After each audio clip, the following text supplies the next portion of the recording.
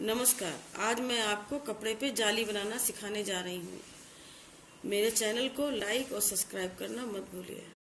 आज मैं आपको रुमाल में नेट की कढ़ाई बताने जा रहे हैं। वो इस तरह बनती है। किसी भी कॉटन के कपड़े में आप इसको बनाइए। इसके बाद में बराबर बराबर दोनों तरफ़ से ले लेंगे। इधर से भी इसी से छह इंच लिया है, इधर से भी छह सेंटीमीटर लेंगे। इसी तरीके से चारों कोने में कर लेंगे। एक निशान लगा लेंगे।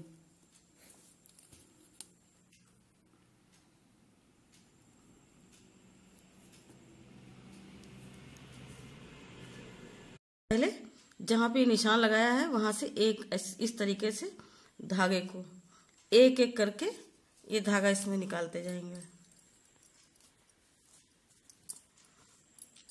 धागा ऐसे पकड़ लेंगे। इसको धीरे धीरे कपड़ा इधर खिसकाएँगे इस तरीके से।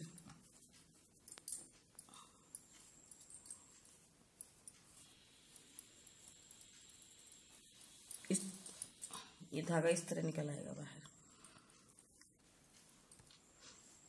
इसके बाद में फिर उसके बगल का धागा निकाल लो।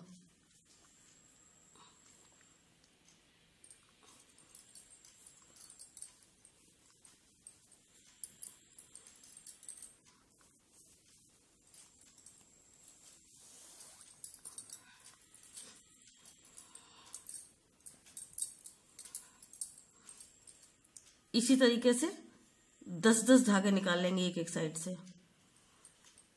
ये हमारा तीसरा निकल रहा है। इसी तरीके से दस निकालेंगे।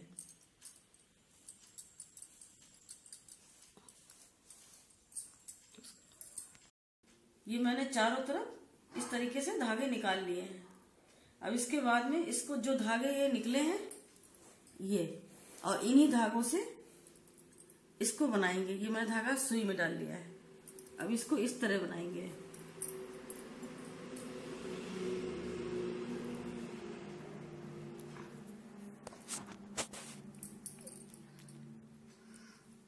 इसमें से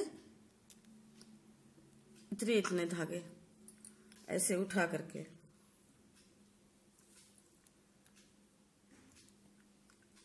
और इसको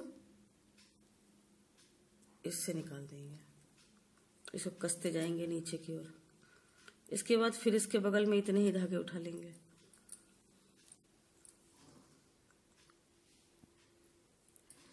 फिर इसको इस तरह कस देंगे। इस तरीके से ये जाली बनती चली जाएगी। फिर इसके बगल में इतने ही धागे उठा लो।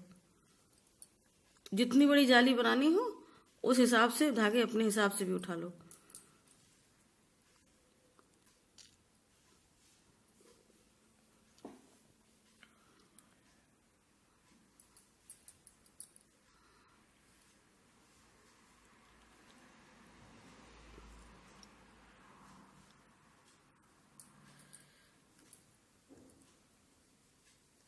इसी तरीके से ये जाली बन गई है। इसी तरीके से पूरा चारों तरफ़ जाली बना लेंगे।